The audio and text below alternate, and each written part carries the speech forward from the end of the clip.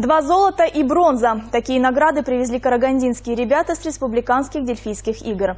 Сегодня талантливых школьников чествовали в родном городе, а уже завтра призеры отправятся в Астану на международные соревнования. За звание лучших боролись много талантов со всего Казахстана в возрасте от 12 до 15 лет. Среди этого числа были и четыре представителя от Карагандинской области. Золотые медали карагандинцы взяли по двум номинациям – изобразительное искусство и народные инструменты. В последней номинации из 17 участников отличился Селихан Сайлау, который играет на домбре двумя руками. Для того, чтобы добиться больших результатов, он занимается по два часа в день с 7 лет. Спасибо скажу учителям, спонсор Сайкеза. Эти карагандинцы. Спасибо.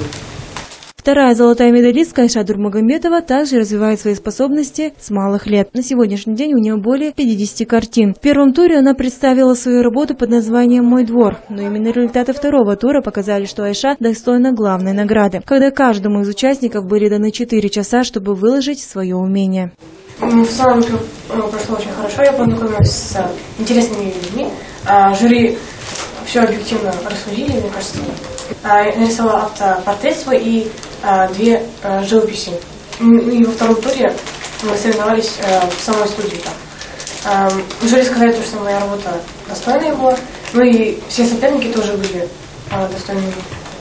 С подобным результатом караганидзе возвращается впервые. Нам действительно есть чем гордиться, говорит президент общества Сайгес Коныш Максутов. Когда мы провели впервые не отборочным, а целым в форме фестиваля «Городские дельфийские игры» поддержкой областного филиала партии Нуротани городского акимата, мы были убеждены в том, что наши покажут свой талант и всемирной арене.